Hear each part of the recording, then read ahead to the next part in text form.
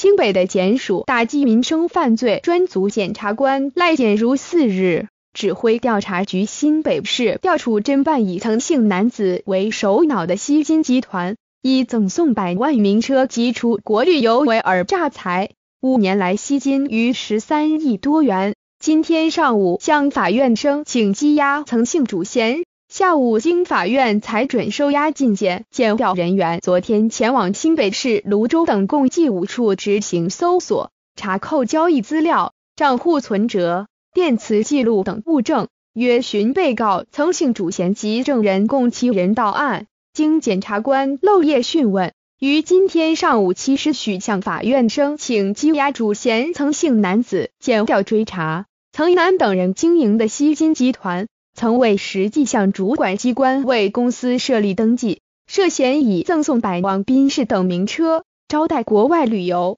每年最高百分之二百八十报酬为诱因，扬称将投资苹果、三星等新款手机买卖，引诱不特定民众投入资金，为让民众误认集团手机投资事业获利甚丰，并多次邀请大牌歌手举办尾牙及春酒。检调查出。该集团自民国一百零三年至今，出股违法吸金约十三亿多元。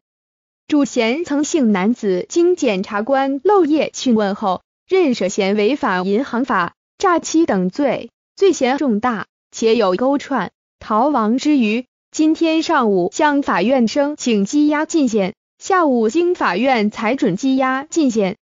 新北的检署检察官赖建如四日指挥调查局新北市调处侦办以曾姓男子为首脑的吸金集团，以赠送百万名车及出国旅游为而诈财，五年来吸金逾十三亿多元，申请羁押曾姓主嫌。今天经法院裁准收押禁见。图报系资料照分享。